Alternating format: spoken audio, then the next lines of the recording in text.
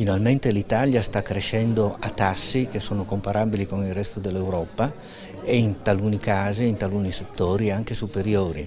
Non dimentichiamo che gli ultimi dati sono produzione industriale a luglio più 4,4% rispetto a un anno prima, esportazioni più 8%. Quindi questi sono dati di assoluto rilievo, sono i migliori degli ultimi sei anni, ma sono anche molto rilevanti in Europa e sono i primi effetti dei cambiamenti strutturali, cioè delle riforme che sono state fatte negli ultimi anni.